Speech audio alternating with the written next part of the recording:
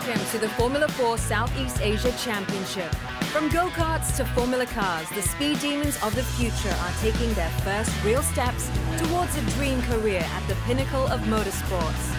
With super license points on the line and plenty of friendly competition, the only FIA certified driver development championship in the region is gearing up for an incredible start.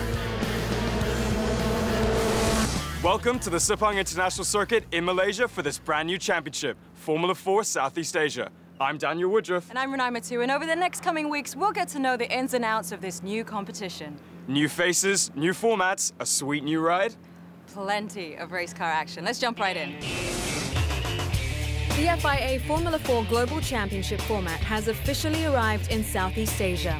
One of 12 Formula 4 championships run globally, this one is unique in that it is a single operated championship run by the Meritus GP team.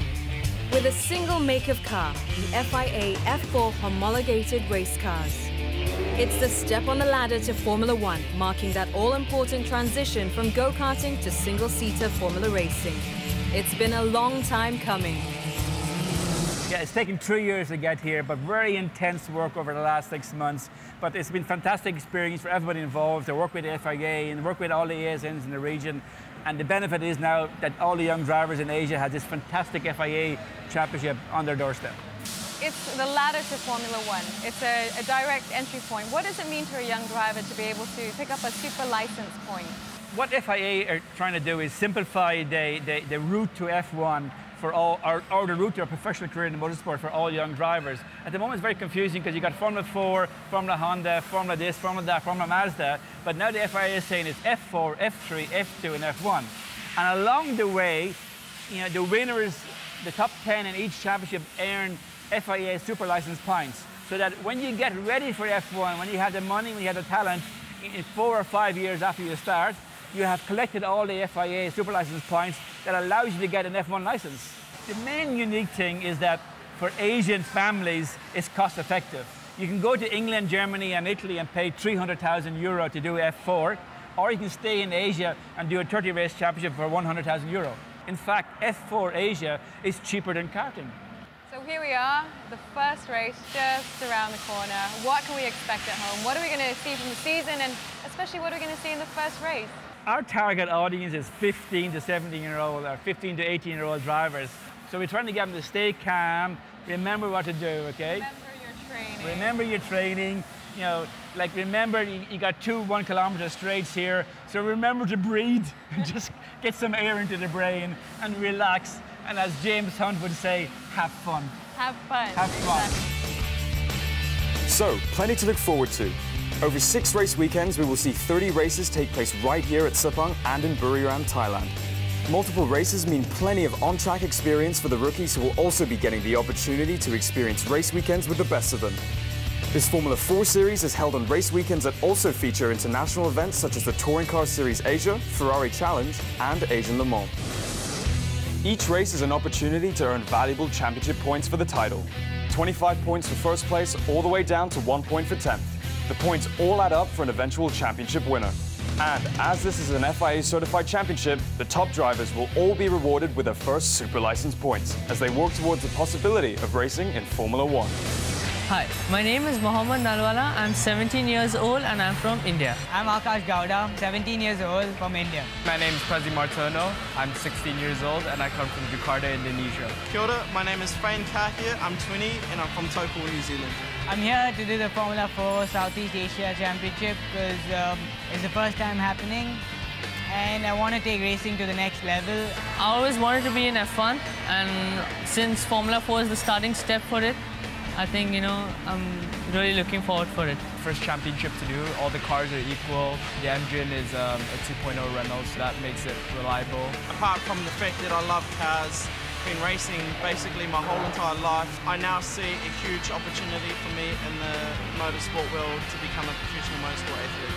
That's why I'm here. It's a lot exciting and you know, uh, there's so much you can do with the car. You can push it to the limit. Well, it's really different because these cars have front wing, have suspensions, while go-karts don't have suspensions and all, you know? It's closer to home and I can learn just as much as if I do this championship than if I do a championship in Europe. I've been karting last year and I was the national karting champion last year. So moving next levels, so going, trying to go further and further. Now Asia, probably next to Europe.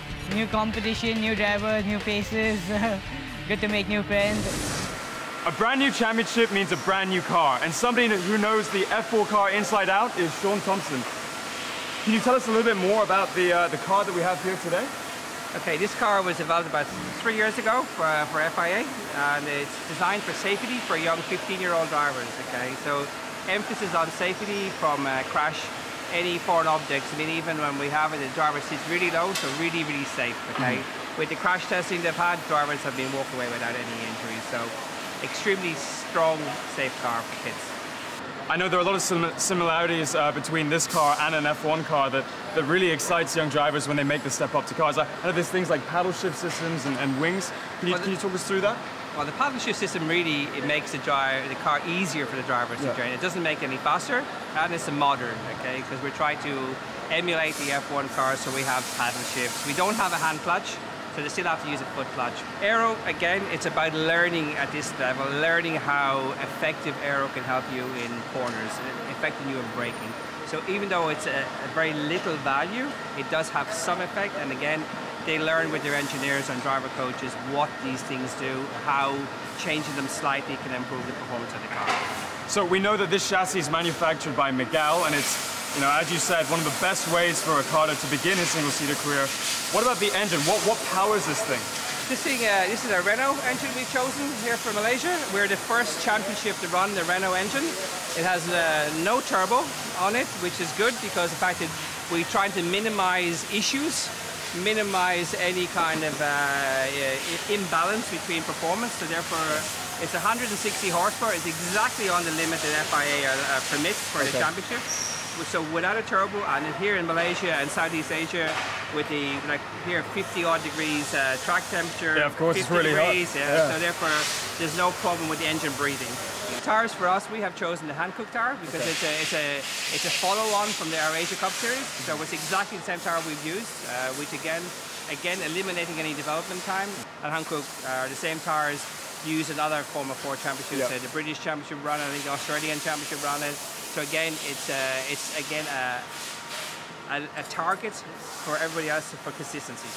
Cool. Well, thank you very much for that lowdown. I, I for one, cannot wait to see them out on track. Hopefully, it's a action-packed one. Exactly. What a car, but this one's more my color. After the break, we meet a driver looking to make his mark in the championship and go behind the scenes with the engineers who will ensure these cars can be pushed to their limits.